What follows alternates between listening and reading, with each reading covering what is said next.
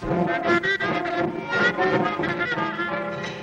Harpo Marx, is the first distinguished American tourist returning from Russia, what were your experiences there?